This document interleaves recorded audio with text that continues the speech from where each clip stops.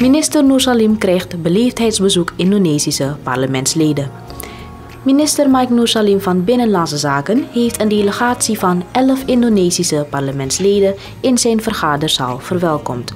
Uit een aantal geplande beleefdheidsbezoeken deden de parlementariërs het ministerie van Binnenlandse Zaken het eerst aan op dinsdag 20 augustus.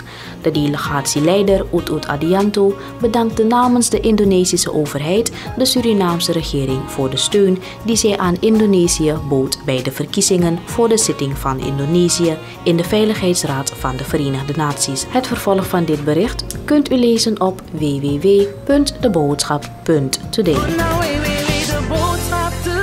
Www.deboodschap.today.